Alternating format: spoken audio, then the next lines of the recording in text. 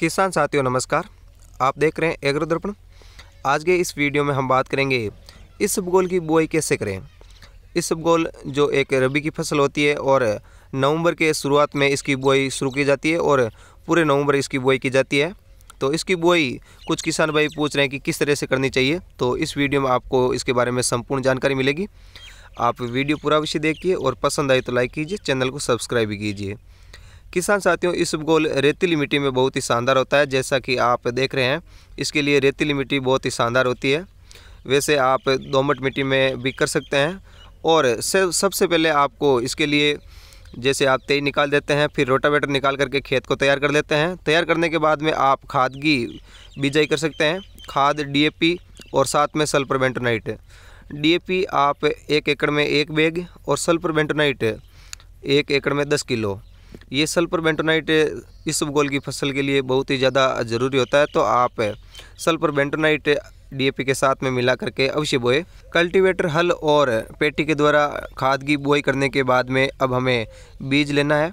बीज आप एक बीघा में दो किलो ले सकते हैं। दो किलो से ज़्यादा भी काम ले सकते हैं, लेकिन दो किलो से कम में काम नहीं लेना है। तो इस तरह से आप दो किलो बीज लेते हुए इस उपगोल का छिड़काव कर सकते हैं। छिड़काव करने के समय, छिड़काव करने से पहले आपको बीज को उपचारित अवश्य कर लेना चाहिए। कार्बेंडाजिम और मैनकोजेब पाउडर से और इसके अलावा थायोमेथो एग्ज़ाम से आप उपचारित कर लेवे। जैसा कि ये उपचारित किया हुआ है, आप देख सकते हैं, लाल रंग इसका बीज का हो चुका है, उपचारित करने के बाद में और ये पाउडर मिलाया हुआ है। तो इस तरह से ये बीज है जो उपचारित करने के बाद में आप देख रहे हैं, क्योंकि इसमें बाद में थोड़ा कटने की समस्या आती है, इस कारण थोड़ा उपचारित करके ही बोए आप। और फिर इसके ऊपर जैसे आपने बीज का छिड़काव कर दिया है तो छिड़काव करने के बाद में आप फवारा चला सकते हैं।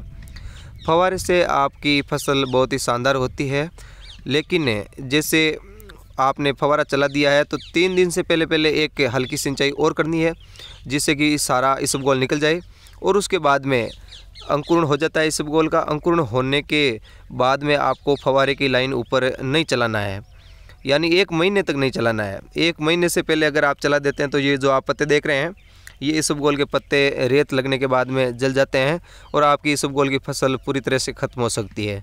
तो आपको एक महीने तक जैसे ही आप इसबगोल में पानी चलाते हैं तो एक महीने से पहले नहीं चलाना। उसके बाद में आप हर बीस दिन के बाद में पानी दे सकते हैं। तो पानी देने से आपकी फ़सल बाद में इस तरह की दिखेगी, जो कि काफ़ी शानदार उत्पादन दे सकती है। इसका उत्पादन ज़्यादातर दो क्विंटल प्रति बीघा, यानी कि अगर हम एकड़ की बात करें तो पाँच क्विंटल प्रति एकड़। तो पाँच क्विंटल प्रति एकड़ तो आसानी से हो जाता है और इससे ज़्यादा भी हो सकता है। हमारे यहाँ पर कई बार बहुत ज़्यादा भी हुआ है, यानी कि तीन क्विंटल प्रति बीघा तक हो चुका है।